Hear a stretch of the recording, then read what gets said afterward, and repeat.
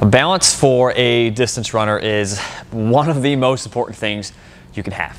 I mean, there's a lot of things running form wise, not overstriding, having strength and mobility, but balance is something we cannot ignore. When you're walking, so you're either in two phases, both feet are on the ground or one foot's on the ground as you're swinging through with the other leg. With running, you're either floating, right? You're floating in the air or you're on one foot. So that balance component, yes, it's important with running, but it's even more important when we talk about, or excuse me, it's, it's important with walking, even more important when we talk about running. So a great way to work on our balance is actually work on getting that big toe to press into the ground. And we have a, a, relatively light kettlebell here. What we're gonna do is work on our balance and work on, right, making this tripod between our heel the outside ball of the foot, the inside ball of the foot, and making sure that big toe is on the ground. That's how we create stability, getting those intrinsic foot muscles activated. But we're gonna have the kettlebell and we're gonna go over uh, what, I what I call kettlebell pass-throughs um, to work on our balance, our, our foot stability, uh, and also, right, going through weight shifts that commonly occur with running and how to handle those loads and your arch is really gonna feel this. So what we're gonna do, we're gonna stand on, on one leg. I'll back up a little bit here so you guys can see. stand on one leg. I don't care what the other leg does. We're here.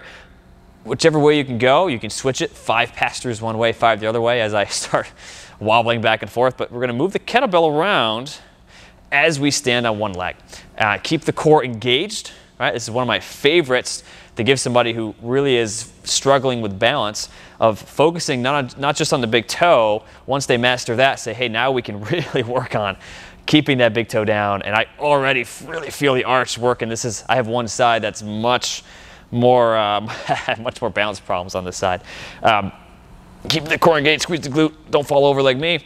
Keep it going, right? Do five one way, like I'll say that's five. Do five the other way. We're just passing through. Try not to have too much, right? Don't like don't curl it. Let's keep it low. Keep the elbows relatively straight. Go behind. We're maintaining our balance the whole time. Switch legs. I really feel it, not just in the calves, but in that arch. As I'm doing this, we're trying not to scrunch the foot. You're just, or excuse me, scrunch the big toe. You're just pushing that big toe straight down into the ground. And we're gonna switch sides. Now we're on this side. We're going, passing through. This side is really easy for me. I have much less problems on my left side. And for me personally, I know my right foot tends to splay out more. I tend to have a little bit more pronation on the right, which makes sense. My right foot's not as stable, which I know why. It's probably my glute and my foot muscles, my intrinsic foot muscles on that side. We're here, we're just balancing. Again, the other way, keeping that core engaged, had to cheat a little bit there. Now I'm starting to feel it in that arch muscle. If we don't feel it in the arch, that's okay.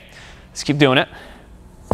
Um, this is one of my favorite exercises, guys, for working on balance and actually working on the arch muscles of getting them turned on and engaged and working on, hey, this is gonna shift our weight back and forth when we're running, when we're running, excuse me, especially when maybe you land on something not so stable of a surface and have to oh, catch my weight over here, prepares you for that, prepares your arch to handle those loads.